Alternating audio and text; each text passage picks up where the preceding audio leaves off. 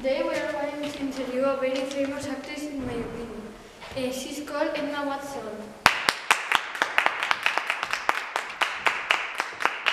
Hi Emma, how are you? Fine, thank you, and you? Fine, thank you too. Uh, so we'll start with the interview. How many films have you played? Well, I've played around 20 films, but I think exactly 22. Okay. What are your best films? Well, my best films, in my opinion, of course, all are beautiful, but I think that my best are my Harry Potter movies. Okay, I like it too. Uh, are you preparing another film?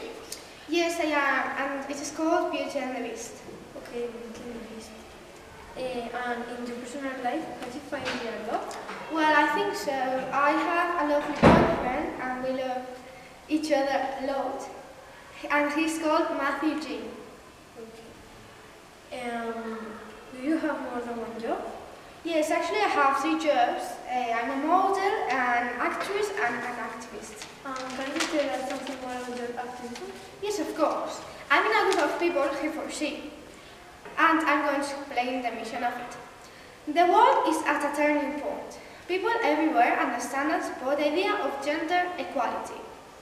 They know it's not just a women's issue, it's a human rights issue. And when these voices are heard, change the world. The time for that change is now. HeForShe is inviting people all around the world to create a visible force for gender equality. And it starts by taking action right now to create a gender equal world. Okay, I am agreeing that opinion. And the last question, where are you living right now? Well, I have a lot of houses because I'm an actress and I can support it. But I live in London, the capital of the United Kingdom. Okay, so thank you for coming here. And you have day.